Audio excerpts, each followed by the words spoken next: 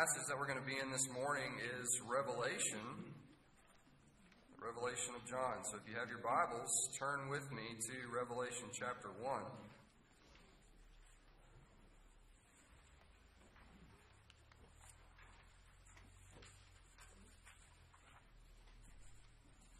As we consider the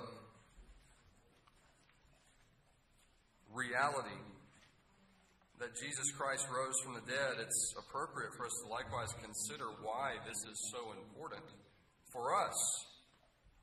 You see, ever since the fall of Adam, there has been for the human race a looming, inescapable burden placed upon all of us.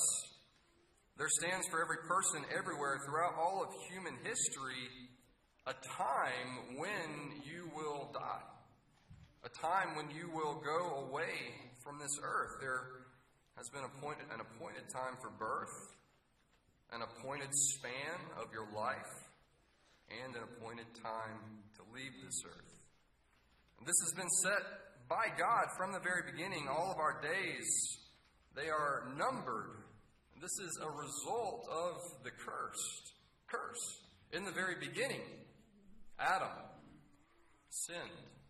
He transgressed the Lord's righteous standard. And in this sin, he plunged the entire race into sin. Not only that, but the whole world was cursed by this choice.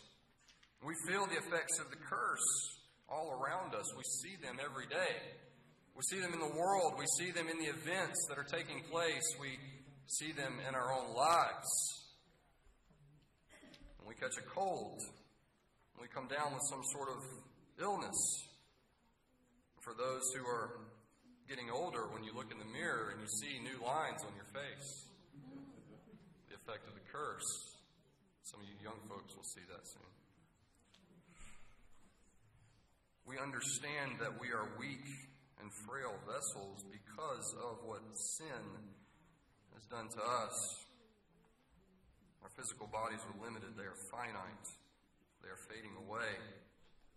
And so, even within ourselves, there is this ever present reminder of death. Most people spend their lives trying to avoid this, this thought of death, trying to put it away from them, attempting to ignore the evidences of age and grasping at ways to prolong their lives here on this earth, ignoring the reality.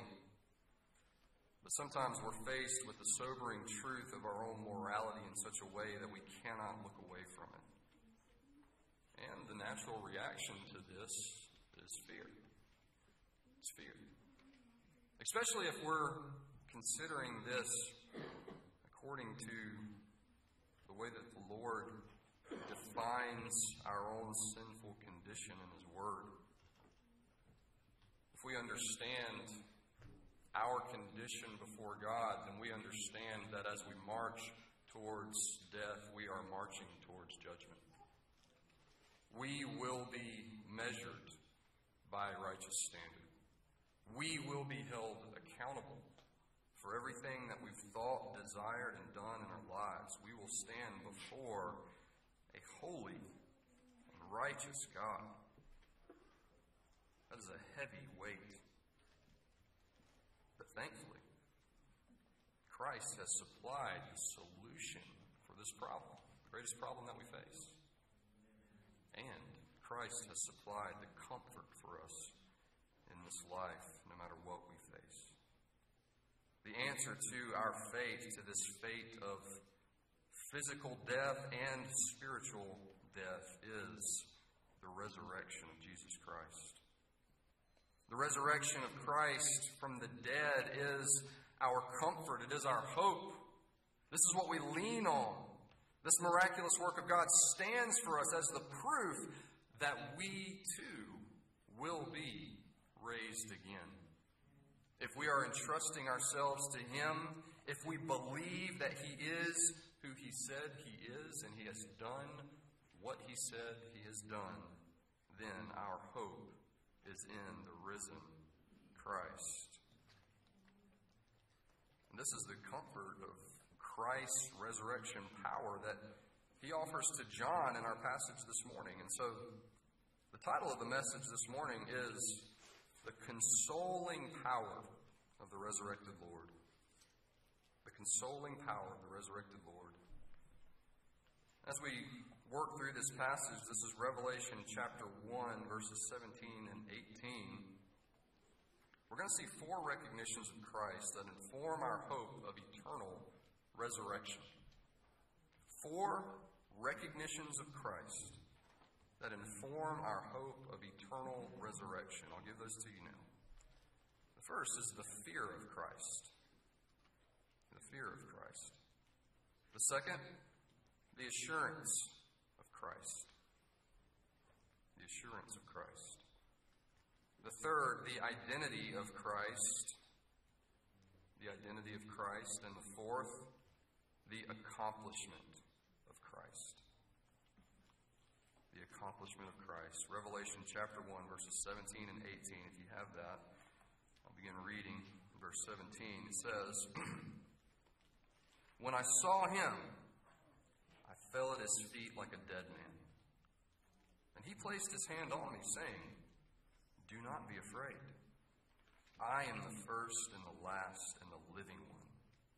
And I was dead, behold, I am alive forevermore and I have the keys of death and of Hades.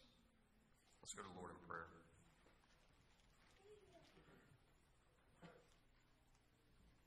Oh Lord, where would we be without this truth? Where would we be if you had left us in our sinful state, in our desperate state, without hope? Thank you, Lord, for your condescension. Thank you for coming to this earth. Thank you for taking on human flesh. Thank you for dying for us. You have paid the penalty of death for all those who believe. Lord, we praise you for that. But not only that, you conquered death and you rose again. And now you are the living one, proving to us that we too may have resurrection life. Thank you for this hope. Help us to comprehend it this morning.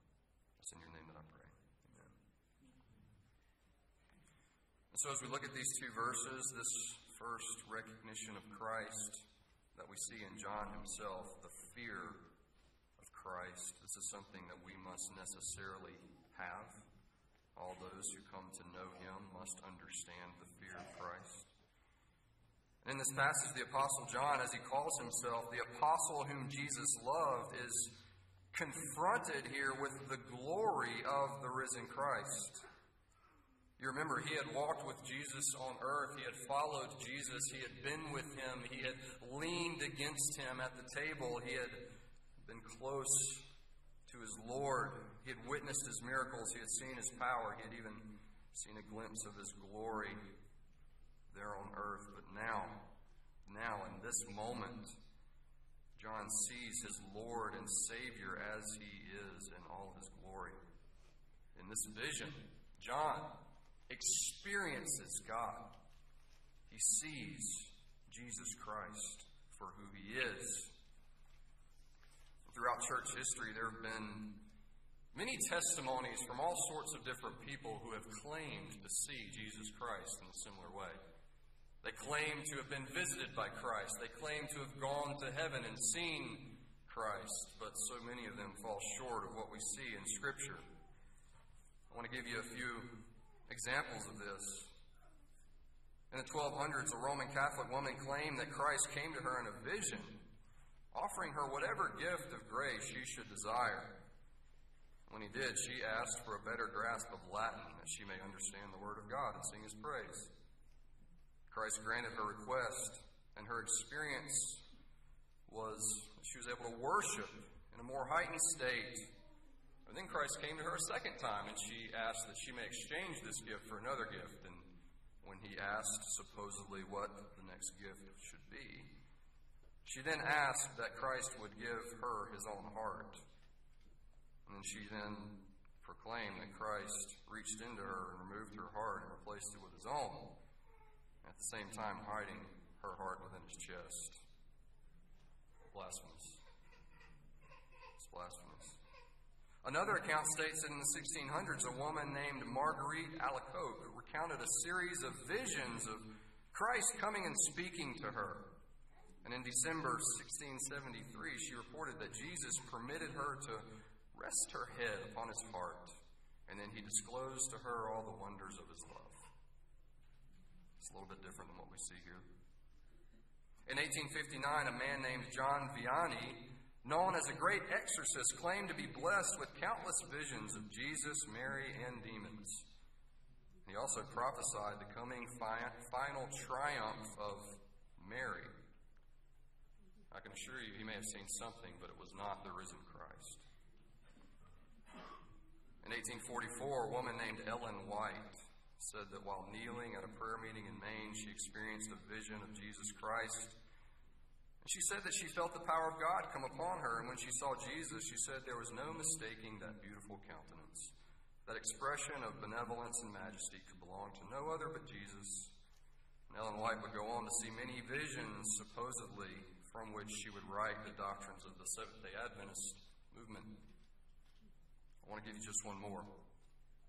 In 1820, a young man by the name of Joseph Smith Jr. reported that God the Father and Jesus Christ appeared to him in a vision in the woods near his home in rural New York. At the moment the light appeared, Joseph claimed that he felt delivered from the enemy and that, that it held him bound, and Joseph felt great joy and love. And during the vision, Joseph asked which church was correct.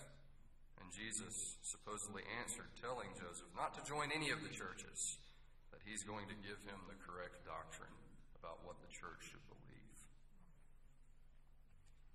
There are countless other claims by all manner of people to have seen Jesus Christ in his glory. We even have modern claims of children going to heaven, claiming to have seen God, claiming to have seen Jesus. We have modern claims of Jesus speaking to people in various ways. Many of these are obviously ludicrous oftentimes bringing with them some sort of heretical doctrine, as many of these that I read to you have. And at times they're totally blasphemous in nature. If you notice, in these that I just read, there's a key missing ingredient in all of them. Something is missing here. When we compare it to how the writers of Scripture detail visions of God, there is a marked difference. Now, I want to read you exactly what the Apostle John sees in the pages of inspired Scripture when he experiences the risen Christ glorified. Look just a few verses back, Revelation 1 10 through 16. This is what John sees. I was in the Spirit on the Lord's day, and I heard behind me a loud voice like a trumpet saying, Write in a scroll what you see and send it to the seven churches to Ephesus and to Smyrna and to Pergamum and to Thyatira and to Sardis and to Philadelphia and to Laodicea. Then I turned to see the voice that was speaking with me. And having turned, I saw seven golden lampstands, and in the middle of the lampstands I saw one like a son of man, clothed in a robe reaching to his feet and girded across his chest with a golden sash and his head and his hair were white like white wool, like snow, and his eyes were like a flame of fire, and his feet were like burnished bronze when it has been made to glow in a furnace, and his voice was like the sound of many waters. And having in his right hand seven stars, and a sharp two edged sword which comes out of his mouth, and his face was like the sun shining in its power. John has seen the risen Christ, the lion of Judah, the King of kings and Lord of lords.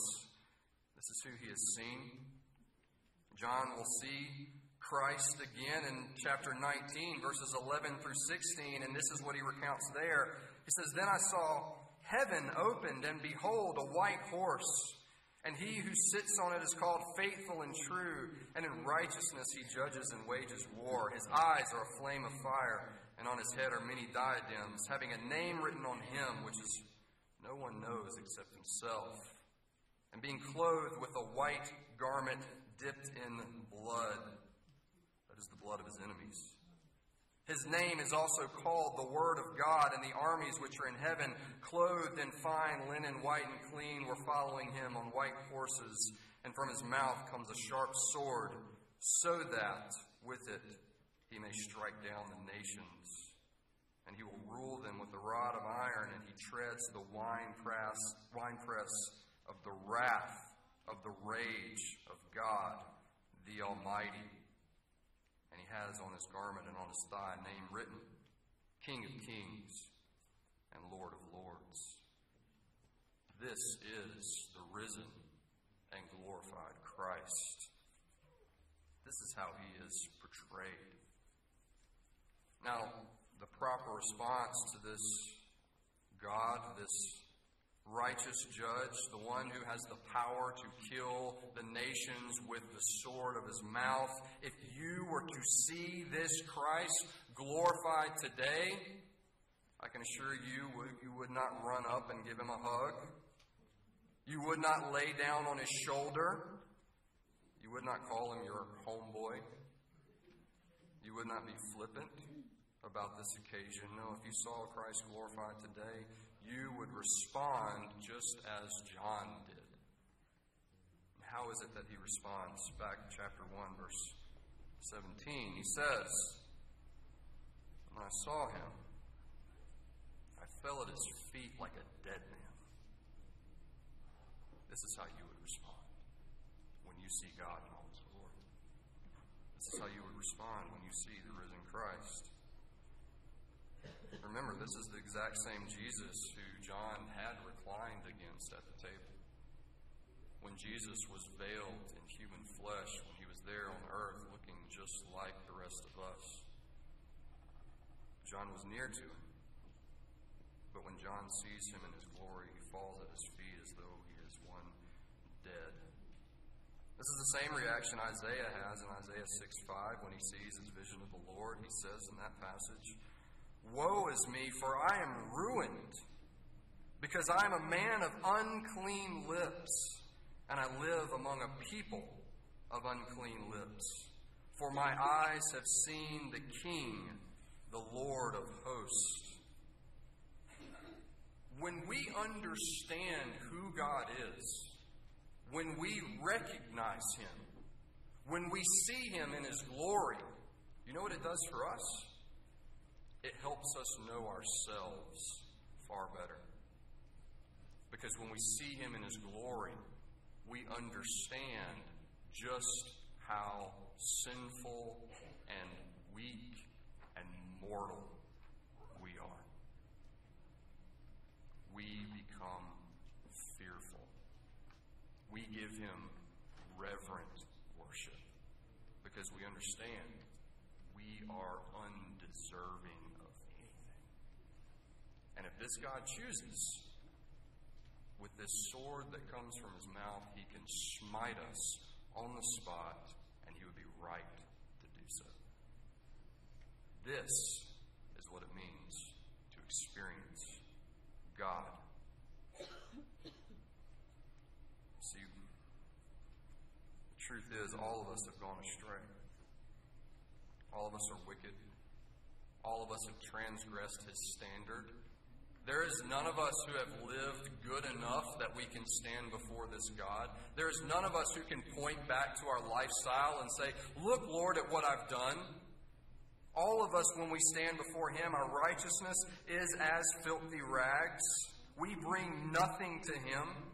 We offer nothing in payment for our life. And if we are judged righteously, we will spend eternity in hell we are under the curse. We are those who will die. And unless something happens, we will experience a spiritual death that leads us into all eternity. This is what it means to stand before the righteous judge, the God of the world, the God of the universe, Jesus Christ. And this is exactly who he is. He is the one true God. But it's vital that each of us realize that knowing God, understanding God, having a glimpse of who God is, it, while it helps us properly understand ourselves and our own sinfulness, it also opens up to us the power of God to save. All praise be to God because when we do recognize the depravity of our condition, when we fall on our knees before Him in desperation, recognizing that we need mercy from Him, we find mercy freely waiting for us. See, the response John receives from his master when he falls on his knees before him as a dead man, well, it's not judgment, it's not condemnation, it's not what John deserves. It's not a word of justice. See, he could send John to hell for all eternity, but John is a believer. See, rather, it is a word of comfort and love. This is the point of this passage. This is the reason why Jesus says the things that he says right now. It is to console John, to comfort him, to tell him, do not be afraid. This next recognition of Christ, we must recognize that He is a merciful God. This is the assurance of Christ. The assurance of Christ. As John prostrates himself before the Lord, as he falls down before him as a dead man, Jesus comes to him. He places his right hand upon him, and he says to John, Do not casts away fear. He portrays mercy to John. He tells him, Don't be overtaken. This is the same thing that Jesus would say to us who believe. This is the same message for all of us. Do not be afraid. Do not fear death. Do not fear the effects of the curse. Do not fear the things that we see happening around us that are the result of the fall. Do not fear this ultimate fate that is physical death because there is something after. We will meet this merciful God, this gracious God, this loving God. And it is through his power that he casts away all fear. It's an interesting, it's an interesting thing that this God of the universe, He is for sinners the most terrifying thing that we could ever face. But this same God is likewise the most gracious and loving being that we can ever encounter as well. Two paradigms. Two paradigms of God. For those who are in their sins, fear. For those who are in Christ, See, Christ is the one who brings condemnation, but Christ is also the one who we run to for rescue. The very one who would hold us accountable for our sin is the one that we must cling to for salvation. And to those who trust in him, he proclaims, Do not be afraid. As 1 Corinthians 15 55 through 57 says, O death, where is your victory? Death, where is your sting? The sting of death is sin, and the power of sin is the law. But thanks be to God who gives us the victory through our Lord Jesus Christ. So, Christ, being the God that He is, He is our rescue, and He is our assurance, and He is our comforter. It is in Christ that we place our hope. And so, for the purpose of comforting John this morning, while John is overcome with reverence and fear before him. Christ places his hand upon him. He, he commands the fear to leave John. And John now can do the work that he's about to call him to. He's about to commission John to do something for him, to take this message to the earth. Now, I want us to notice something here a point of personal application. As we talked about, we are all sinners. We are all condemned. We all stand before a holy God. All of us, if we go and stand before the Lord without trusting in Him, the fate of eternal death stands for us. And so, the very first step for each and every person, each and every human being, if you are to be ushered into the resurrection power of God, this is what must happen. You must come to an understanding of who God is and who you are.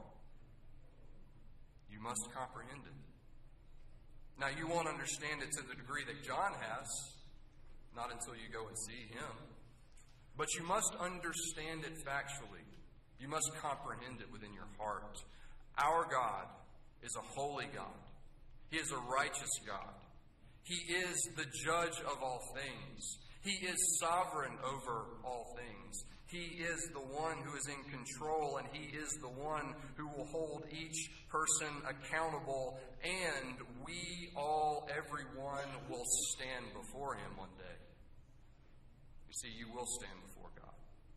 No matter what you believe, no matter what your religion is, no matter what you think about this world philosophically, no matter what you believe about the different systems of the world that people have come up with to try to explain away things.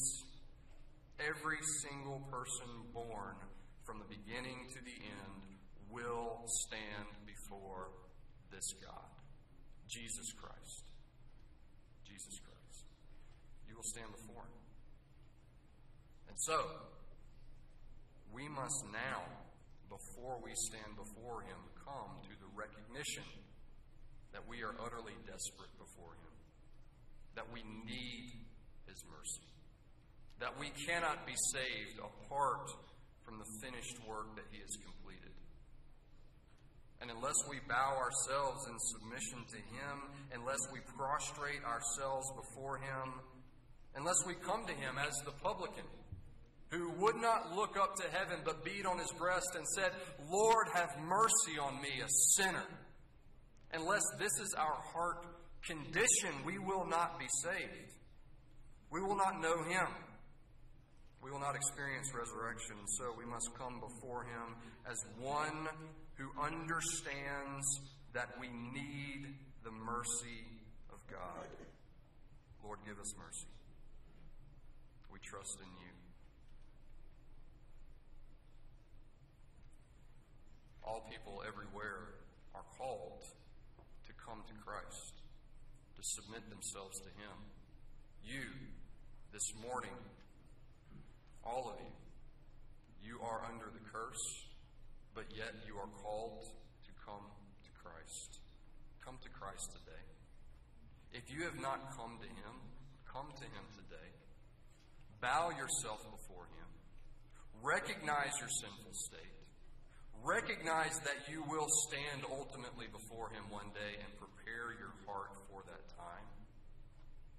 And if you come to Christ, you will find a merciful Savior.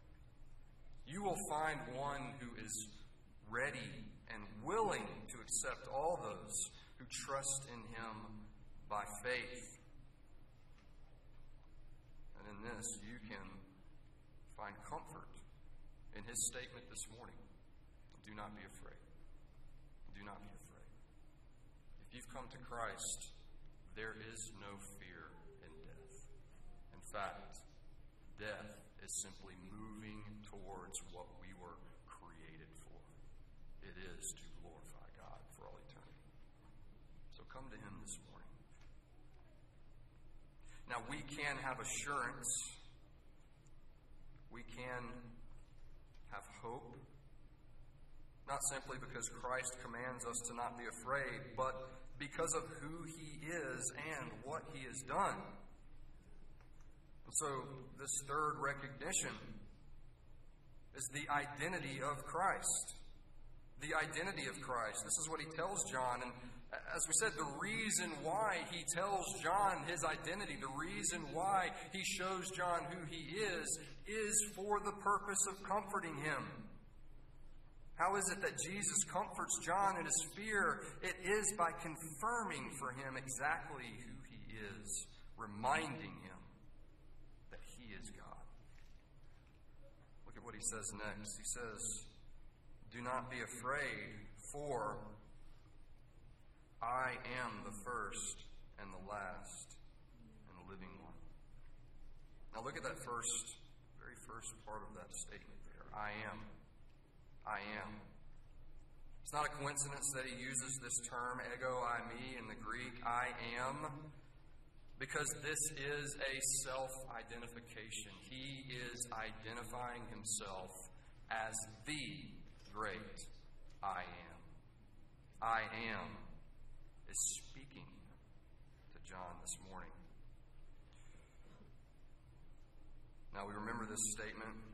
John has focused in on this statement throughout his gospel, but particularly in John chapter 8, verses 58 and 59. We have in that passage Jesus having a very confrontational dialogue with the Jewish leaders and in this dialogue, they accuse him of having a demon. And after they ask him, how could he have seen Abraham? Abraham, who lived 2,000 years before, roundabout. Jesus answers them this way John 8 58. Jesus said to them, Truly, truly, I say to you, before Abraham was, I am.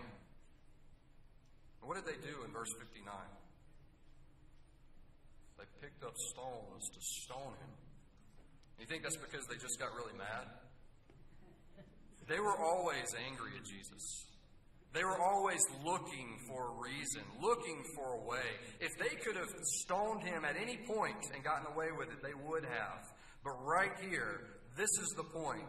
They make the decision. Now is the time. We can do this, and it will be right we can get away with it.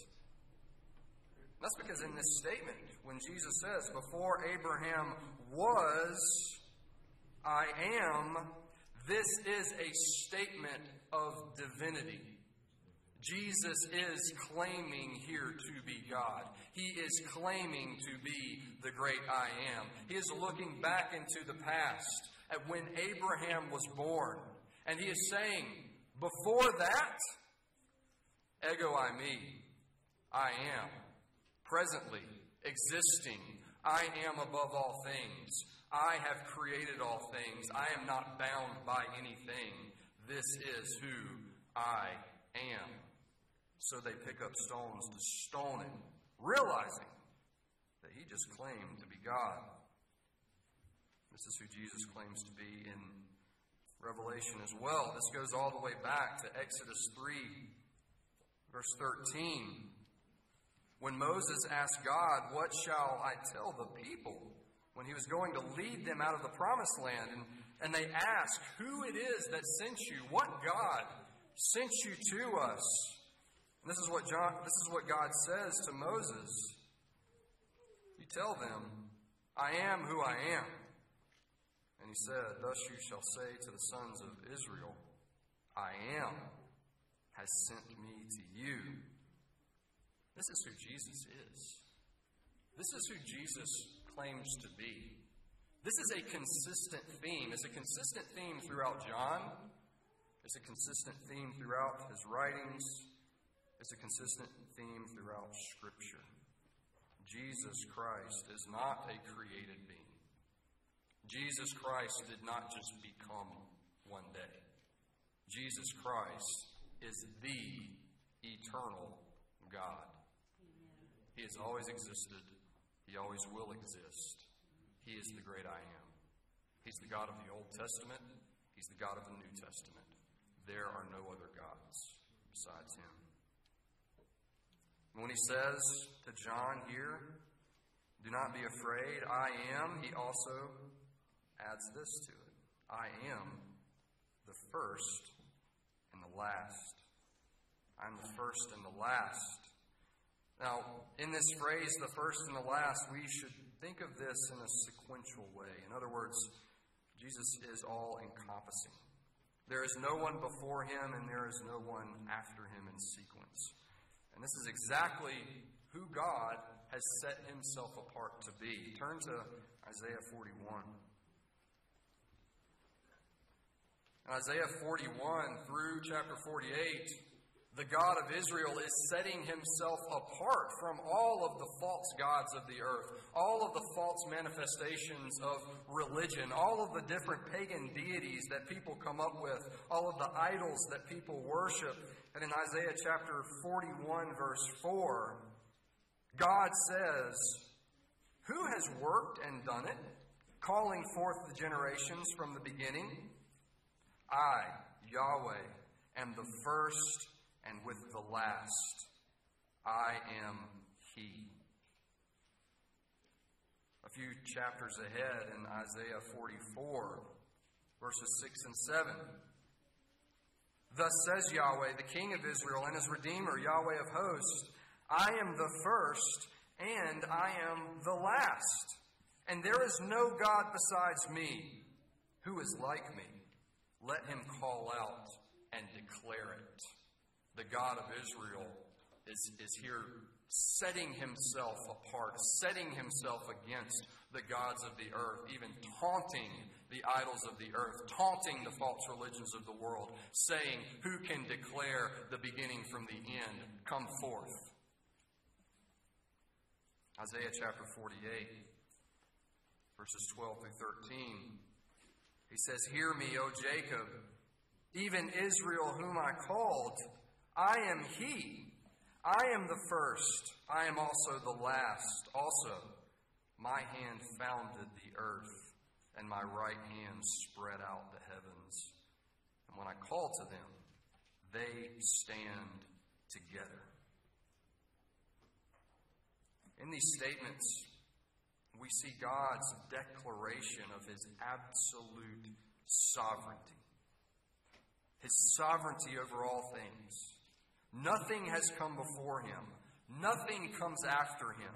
He is the first and the last. He has determined the events of time from the very beginning, everything that will transpire in all of human history. God has set it in motion. He is active within it, and it occurs exactly as He desires, including the salvation of men's souls.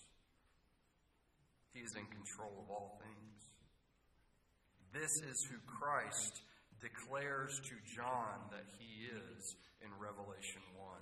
I am the first and the last. Same God, sovereign over all. Take comfort in this, John. But he doesn't stop there. He goes on back in Revelation 1. Says, I am the first and the last, and the living one.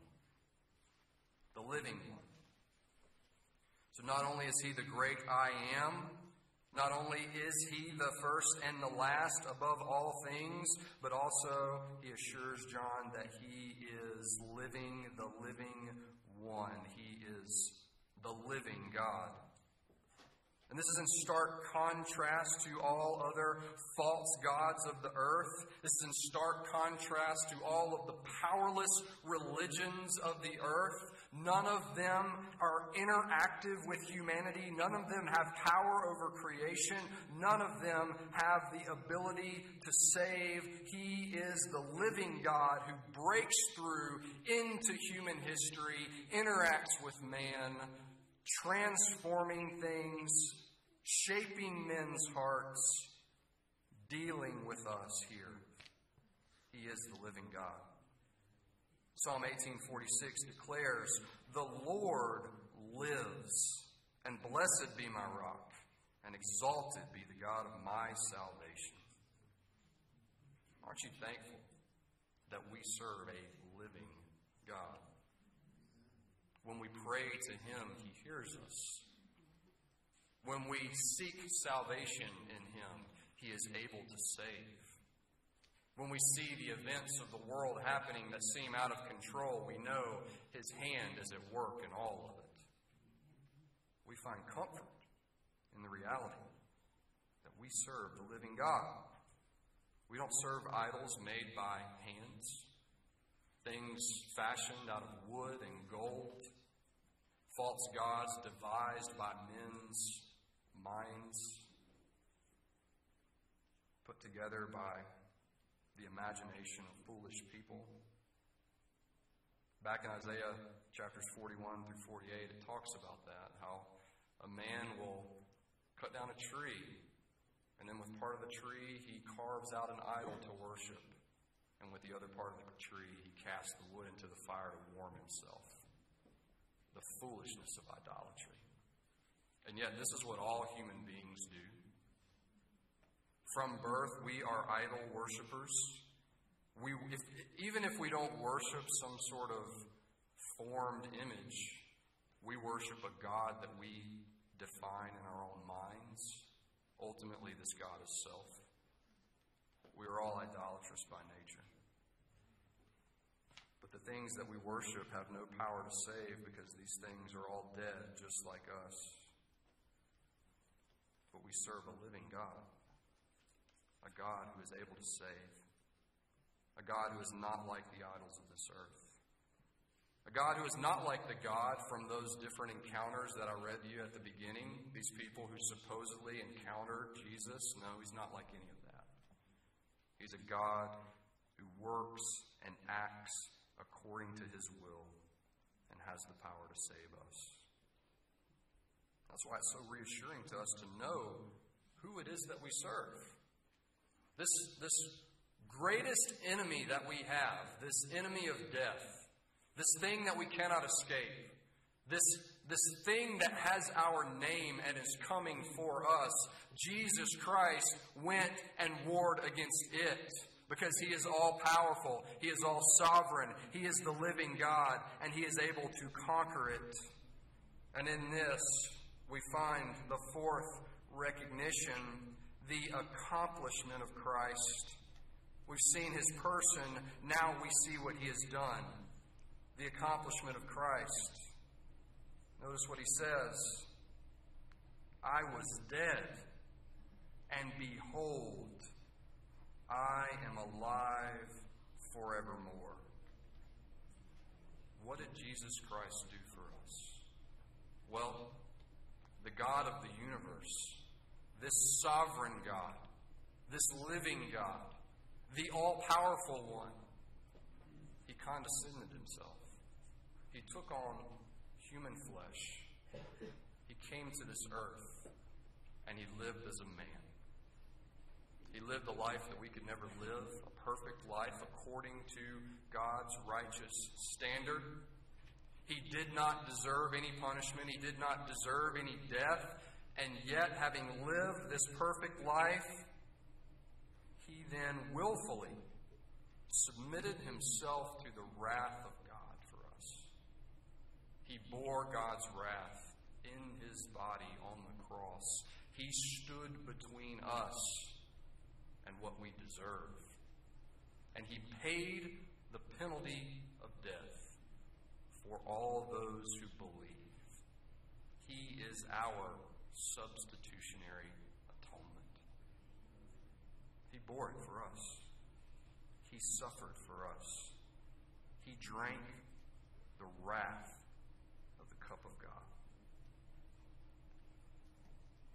The Lord of the universe, died for sinful, idolatrous human beings. It says, I became dead. I became dead. The living one became dead. Now, that is not that he became dead in his divinity, but rather in his humanity. He died. He paid for it as a human substitute. This in no way changed the essence of his divine nature. See, he still remained the living God. Nothing about that changed, and so, for that reason, not even death could hold him down. And he broke the chains of death, and he conquered it, and he now lives on because he is the living one.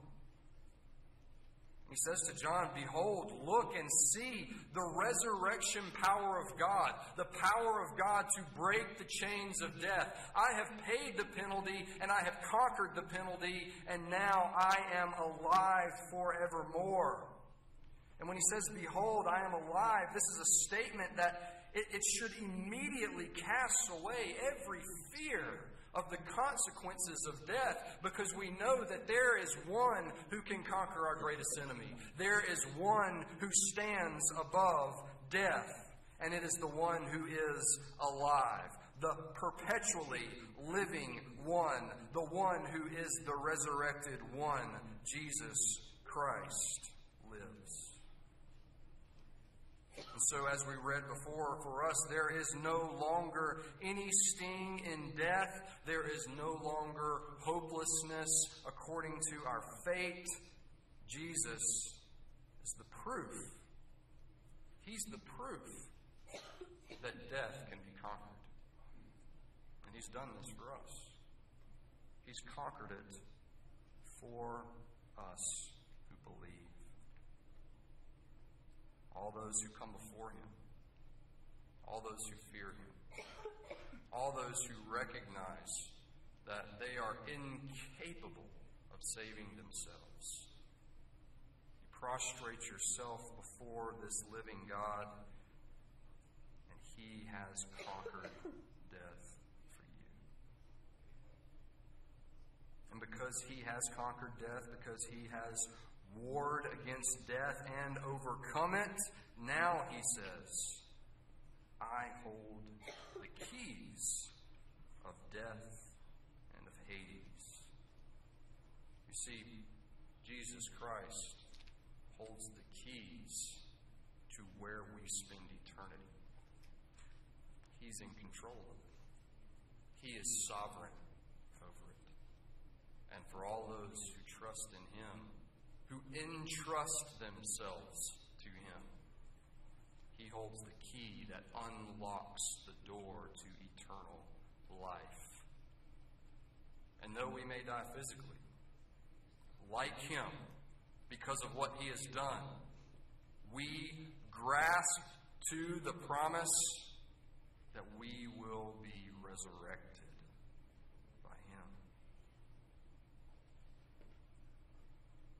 Conquered death for us.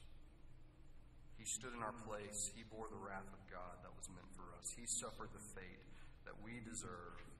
He became dead, but He is living. He is alive. And it's all about Him. It's all about Him. He is all powerful. We are not. He is sovereign. We aren't. He is eternal. He is set apart from everything and everyone. He is holy. And it is He who crushed death under His feet. And so it is He who has all power to grant eternal life to all those who believe in Him, all those who follow Him as Lord through faith. Our Lord, our Christ, Jesus, the living one and this is why Jesus says to John, Do not be afraid. Do not be afraid. John has fallen before him as a dead man, but Jesus places his hand upon him. And he says, Do not be afraid, John. John knows who Jesus Christ is. John knows who he is in person. John knows the work that he has accomplished. And so all Christ has to do in this encounter is remind him of the truth that he already knows. John, don't be afraid. I hold the keys to death and Hades, the one that you know, the one that loves you. Therefore, John has eternal life. Praise be to God that this merciful, long suffering God of love is the same one who holds the power to eternal life. And he extends the call to all people everywhere to come to him, turn from your sin, follow him as Lord, believe that this one true God is the only way of salvation. There is no other way to overcome death. It is only through the person and work of Jesus Christ. He calls you, come to Him. He does not require that you live according to some sort of law. to come to Him. He does not require that you clean things up to come to Him. He is looking for worshipers who will worship Him in spirit and in truth. He calls you, come to Him, recognizing your desperate need for a Savior. Turn from your sin through faith and trust yourself to Him, knowing that He's completed the work, and rest in Him. And in this, there is an answer to the ever present reality of the curse. That is to follow the one who has overcome the curse. For all those who believe that Jesus Christ is the resurrection power of God, these words from John at the end of Revelation grant us all hope. In Revelation 21, verses 3 through 7, we find our hope in this. John says, And I heard a loud voice from the throne saying, Behold, the tabernacle of God is among men, and he will dwell among them, and they shall be his people, and God himself will be among them. And he will wipe away every tear from their eyes, and there will no longer be any death. There will no longer be any mourning or crying or pain. The first things have passed away. And he who sits on the throne said, Behold, I am making all things new. And he said, Write, for these words are faithful and true. And then he said to me, They are done. I am the Alpha and the Omega, the beginning and the end. I will give to the one who thirsts from the spring of water of life without cost. He who overcomes will inherit these things. I will be his God, and he will be my son. This is what the resurrection is all about. It is God saving a people for himself who will be raised again into eternal life to live forever, serving, worshiping, glorifying the one true God. Jesus secured for us the means by which we have this fellowship. This world is dying, it's fading away, but there is an eternal kingdom that we are moving towards if we have entrusted ourselves to Him. So this morning, do you believe that Jesus Christ is who He said He is? And that He has done what He claims to have done? Do you believe it? Do you believe that He is the only way to salvation? Do you believe that He is the one and only God? Do you understand that when judged by God according to your own deeds, you will be found lacking? Do you understand? Do you know that unless you believe, you will most certainly die an eternal spiritual death? But do you also know Jesus this morning? The one who died for our sins. Do you know him? If you find that you don't, come to him today. Follow him as Lord. Entrust yourself to the work that he has completed on the behalf of sinners. And if you do this from a changed heart, you too will receive eternal life through the resurrection of the dead. And for you, there is no fear in death. Let's go to the Lord in prayer.